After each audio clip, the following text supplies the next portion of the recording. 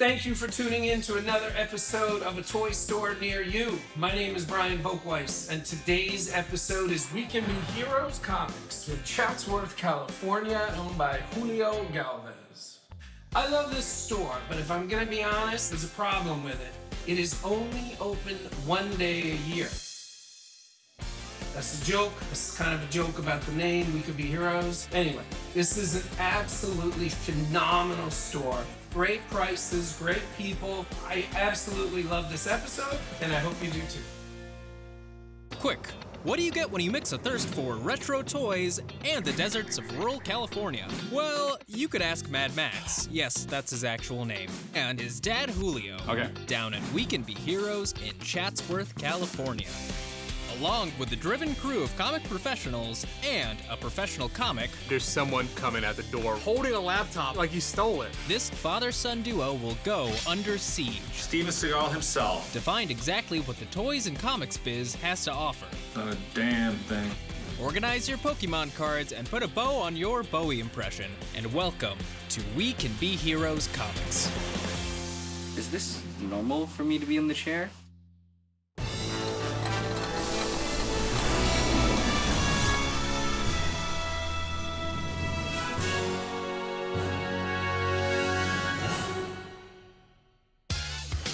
Los Angeles. The glitz, the glamour, the games? It starts with a G, so we'll allow it. I love the environment. I get to come in and relax, look around. But here in Chatsworth, this suburban neighborhood, removed from the city bustle, stands as a heroic foil. Just the environment brings me back every single time. All thanks to an LA native who walks to his own beat and claps to his own clapperboard. Julio, interview, take one. Hi, my name is Julio Galvez, and this is We Can Be Heroes Comics. Bet you're wondering why I'm sitting in an electric chair. Because I have one.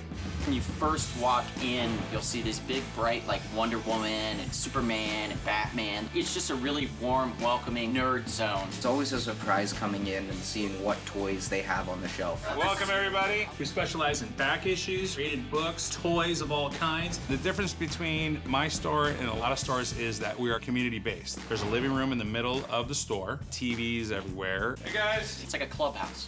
Always people here. It's one of the few comic book stores that don't treat you differently because you are different. Everybody goes to conventions to hang out with like-minded people. We can give that to somebody on a Wednesday or a Thursday night and come out and hang out and talk about things that they love. I thought it would be a great idea. It's kind of like a huge display case. And while this display case boasts toys, atmosphere, and again, an electric chair, Because I have one.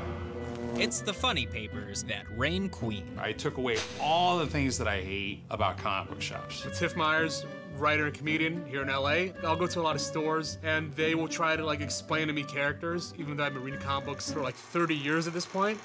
And it's like, dude, I want to buy the book. Like, just, I know what I'm doing. There's no cases in front of the books. But you come in here to We Can Be Heroes, and Julio just makes everybody feel welcome. A lot of people are kind of scared of asking, can I get that book? Can I see that book? I wanted that gone. I want everybody to have access to everything. Like I've seen him give a tour to an old man or like an 11 year old kid giving the pointers on what books to buy. So it's just like a very comfortable place and also doesn't overcharge. So it's cheap, the most important thing. Hi, my name is Izzy, and I am the newest hire here at uh, We Could Be Heroes. Uh, they're obsessed with David Bowie. Here's a lunchbox. Here's a little David Bowie I drew, and, and he fell. I, I don't know who he is. I, I didn't know who he was until I started working here, and I still don't know. Ah, these young Americans. Yeah, Tommy Romandi, an investor in the store, part owner, I guess, co-owner. It started off small. In the span of a couple of years, it's grown, but it's really become a family. You just hang out, you know, talk about the books, talk about whatever they feel like it. Here on the show, there's one thing that we like to talk about, and if you guess toys, you'd be right. Number 10, Superman leaps tall building wind up tin toy. This is kind of like an homage to back in the day. Able to leap tall buildings in a single bound. Get it nice and top here. All right, let's see what it does. Not a damn thing.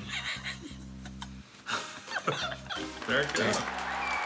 Toy nostalgia there, guys. It does what it's supposed to do. I'll tell you that. Definitely something you want to get for your kids. My name is Mad Max Galvez, and my dad's Julio Galvez. And my mom is Monique, and my brother is Wyatt Galvez. Let's say all them. Well, so uh, Max is my 11 year old kid.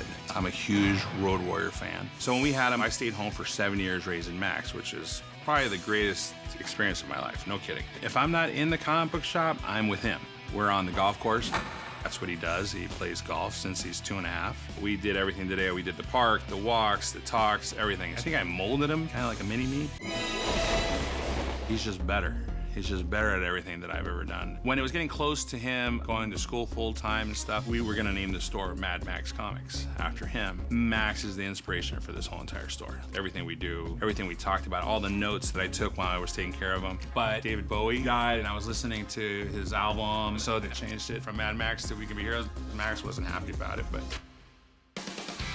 Well, it's, it's pretty cool because I get to meet a lot of like people I like. I used to watch, like I used to watch the Green Ranger. We met him. That was just amazing. My friends are all like, I wish they were kind of me at the time. It was really amazing. he's not so obsessed with comics. He loves the toys, but he's really into the Pokemon. Yes, a lot. And he hates me for it. totally Pokemon. I think Danny, our manager, is like, like a god, uh, which is strange. It's mainly just like a $700 card with like 10 other cards. See, he's so talented. uh, the Shockmaster, WCW superstar, I imagine, I guess, for one night. What's cool about the Shockmaster, he made his first appearance and last appearance all in the same night. He burst in through this wall, He is none other than the Shack Master! The Shack Master! fell down, and his helmet flew off. And when he got back after picking up his helmet, he was so dazed and confused that no one could stop but laughing. Definitely one of the best, most memorable moments in WCW history. But that's not all. The figure, as you can see, he is lying flat on his face. I just had to get this. This is great. This is one of definitely one of my favorites. The Strange Lives of Batman. And basically, it's all the odd, uniformed, colored Batmans from across the Batman line of comics. Your cowl, Batman, is turned bright pink. It's my favorite one. It's the, the rainbow one, followed by the zebra one. 2019 San Diego Comic Con exclusive. This is an interesting set, man, and Mattel does a great job with their presentations. Also, there's a secret compartment in there with a poster. Now, this is not cheap by any means. If you're trying to pick up the figures individually, they could run around 50 bucks. If you're trying to get the whole thing, you're looking at around 250, something like that. So now Mattel is not currently making Batman figures anymore, but when they did, they did have a good time with it. No, it looks like they had fun making this. So, um, little history about We Can Be Heroes comics. I started working with Julio about 25 years ago. and we became friends ever since. We worked distributing TV commercials. So we would get the tapes, make copies, send them out to stations all over the nation.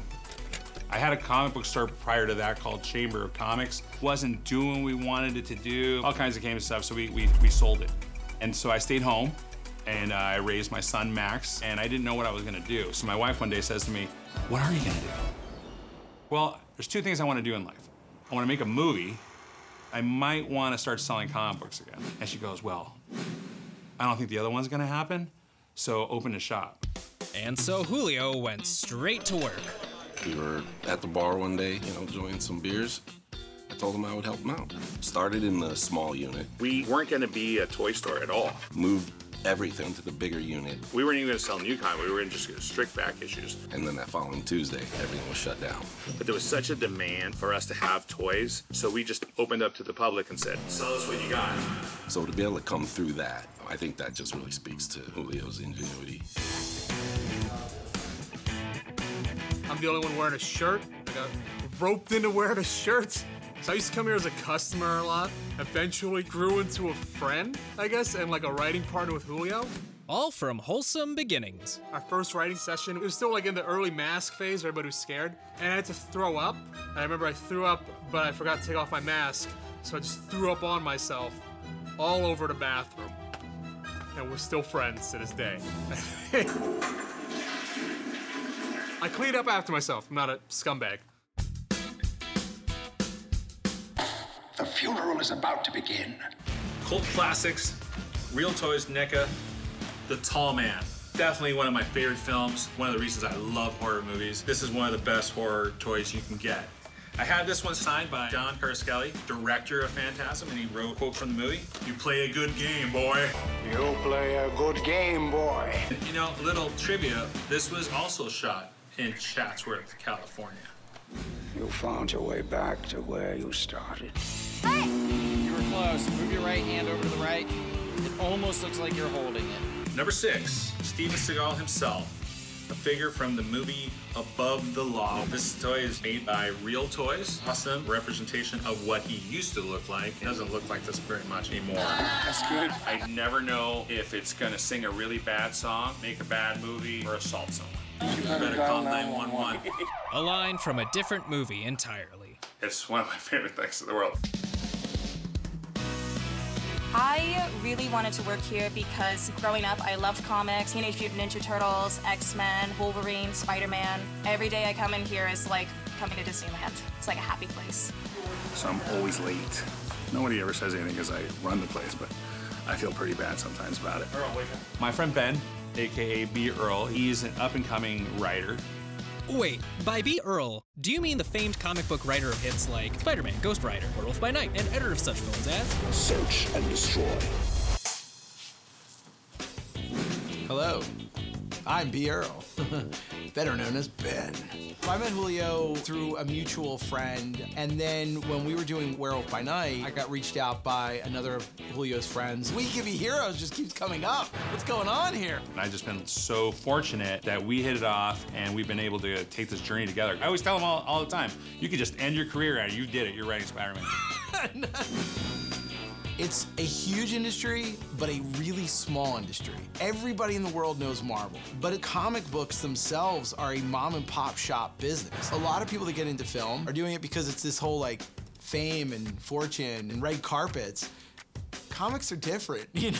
you do it because you love it. I got into comics because I just didn't like reading. My parents were really worried, like teachers were like, oh, he's supposed to read this book and do a book report on it.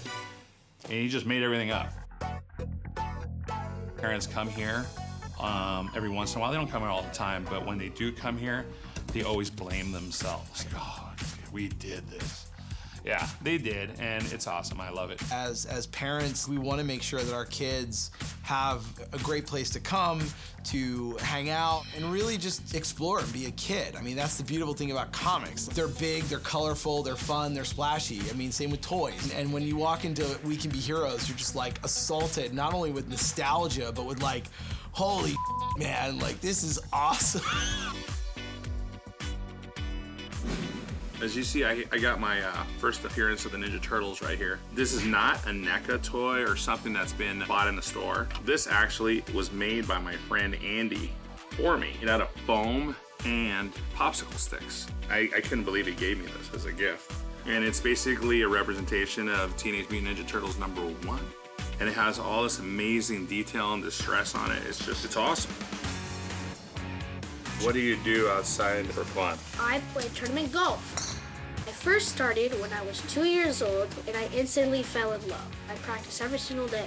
It's been my passion for all these years. I've been playing tournament golf for seven years. Do you win any of these tournaments? If I play about five tournaments, I'll probably win them three out of the five, or I'll just win all. But yeah. The toys and action figures from the movie Clash of the Titans, 1981. Ray Bradbury, right? Ray Harryhausen. Ray Harryhausen? Yeah. Ray, why was I thinking Bradbury? Ray Harryhausen, classic. Then we have the 1981 Clash of the Titans set. They're about three three quarter inch figures, five points of articulation, a copyright of 1980 on them, but they came out in 1981, which was the same year I came out of my mom. So. if you're trying to pick these up complete and loose, they are expensive. You're looking at around 50 to 80 bucks complete per figure. And the Kraken, oh my god. This thing's gonna run you close to a thousand dollars complete. Make sure it has the tail. Sometimes they don't have the tail, so keep an eye out for that. All right, what we got here is the G.I. Joe Killer Whale. Here, Cutter's saying hi to you guys. Hold on there. Cutter! This is probably my second favorite toy in the world. When I was a kid, I wasn't able to get one. And I've been putting this together for the last three years, piece by piece. And I'm only a few pieces away from completing the whole entire thing. The killer whale, the warrior hovering, assault launching envoy. Or, as the comic book would have you believe, the waterborne hovercraft assault landing experimental. Came out in 1984. Made its first appearance in issue 28. Has all kinds of compartments where you could hide your Joes. You got eight missiles, depth charges, tons of things to get lost. Pretty expensive if you're picking it up in the aftermarket. You're looking at around over 300 bucks if you still have the box with it. Now it doesn't actually go into the water, so it's gonna sink if you put it in the water.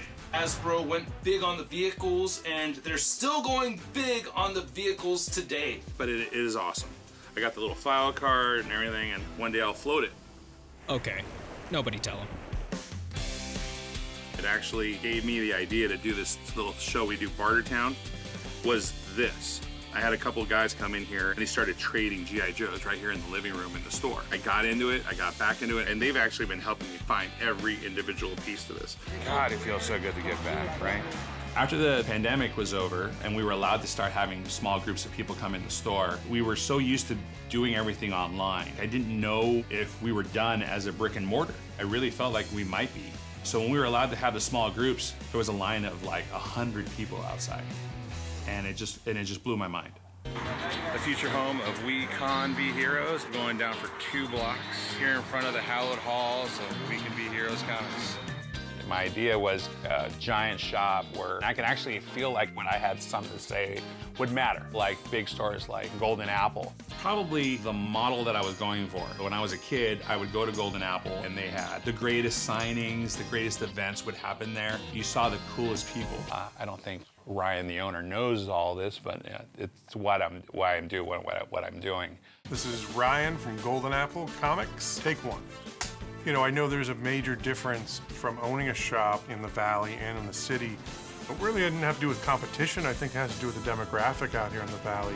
Out here in Chatsworth, I think is a really great serviceable area. Street fairs, doing their live sales, colorful people like Showtime. We've got a guy named Showtime hanging out. You know, you want to hang out with a crew like that. Cylindrical capsules, I let my last dollar go. My emotions volatile on this potion.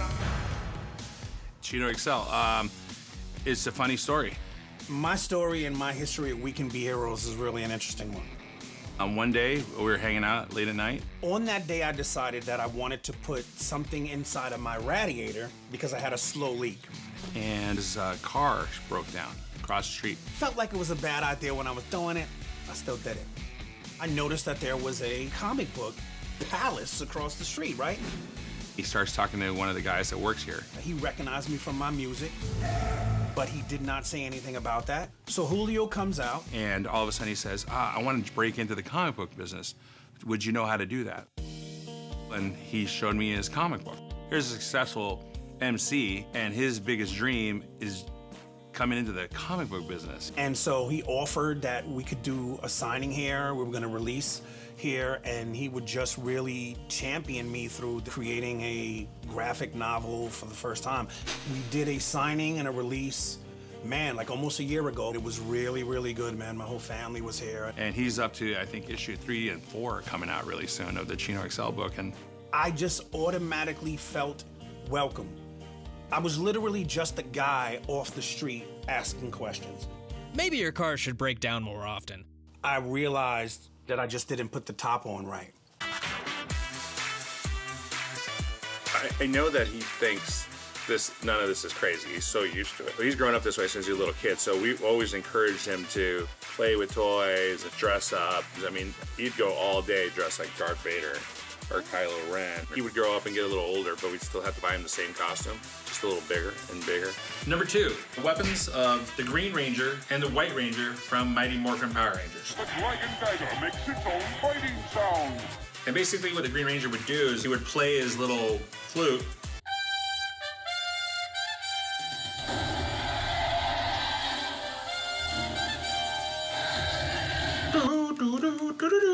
something like that. At least that's over with. So here's Saba. This is when he becomes the White Ranger. Spoiler alert. He would move this little thing, and he would, uh, the sword would talk to him, and it was his companion. Once a month on a Friday, we do dress up day. Even though I'm alone, I'm trying to keep that spirit alive. Arr. Arr. Julio and I are very similar business owners. I see what Julio's doing and his crew, and they are just having fun. Maybe they're having a few drinks behind the scenes, I don't know, but those guys are having fun.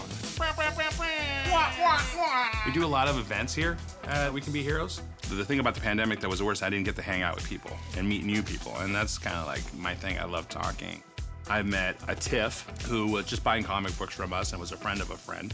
Am I looking extra bald and shiny? You've been you've been lighting brown people all day. And we just hit it off. And we both were into professional wrestling. We're coming for you. One day he says, I'm writing this script. You're like my soulmate. yeah, that's great. On Fridays, we do a show where you spend a certain amount of money, you can get on the wheel on Friday, and then we spin it and we put all the names in there and somebody can win. I was doing that by myself originally, and then I decided I need something a little else and added a tiff, and ever since then, that show is wild. Yeah, you can edit some posts. No, it's all- Throw in some CGI. Give me some abs. I wanted to give back to the community and do something, and that's when somebody said, You need to reach out to the Chamber of Commerce. I told them the idea of maybe a block party. That was the original idea. And they were like, Oh, that sounds like a cool idea. How would you help with a block party? You're a toy store. And I said, Well, I can introduce the world of that and do a block party at the same time.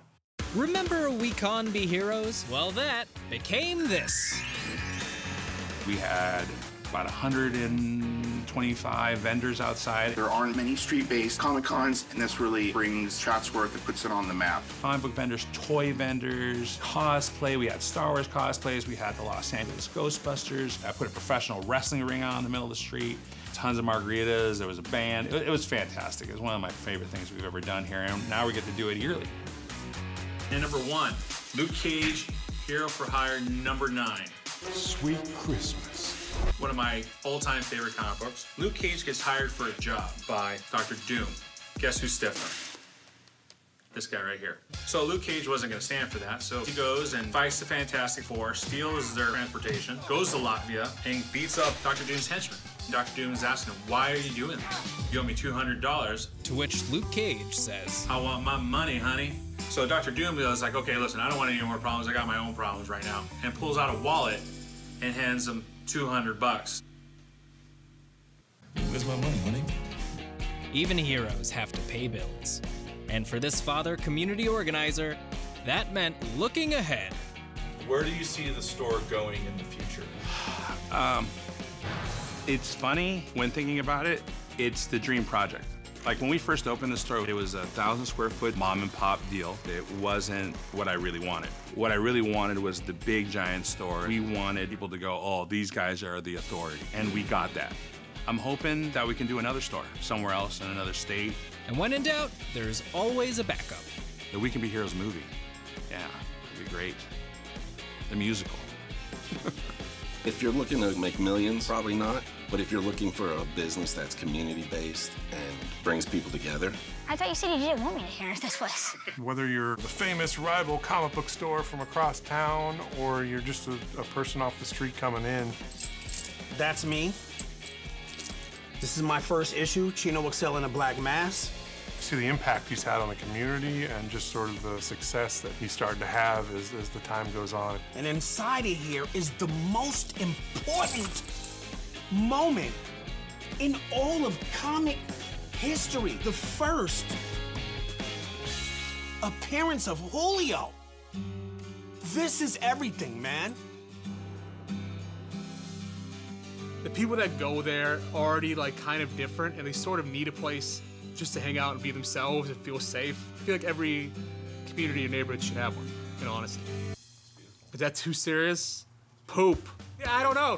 I thought I said I was a comedian, now I'm making people serious and tear up. Sorry. Tears and poop jokes aside, Julio successfully created that communal space for those new to the family and old. Are you proud of your dad for what he did with the store? Uh, yeah, I, I think he did a pretty good job since the first one he closed and then he learned from his mistake and made a whole entire better one. And I think it's like the best in the valley. It's really cool for me because this is how I always grew up with all kinds of these toys everywhere. My dad used to always collect toys, and now both of us go to collect toys every single week. Get in there, get in there, get in there, get in there. I think it's one of the best things that we have. Yeah, you did it, man. Yeah, hole in one. I should probably end it, right? Like, uh, I am 100% truly grateful for everything. I'm, I'm grateful for the way this place started, and there's a lot of people I need to be grateful. Max, close, close the door, close the door. Oh, I lost my train of thought. Where I was ungrateful, right? We enjoy what we do. Why not make it comfortable for everybody to come in here? I love being here, and I, I wouldn't want to do anything else. Why do anything else when we could be heroes? Well, I still want to make that movie, damn it. One of these days.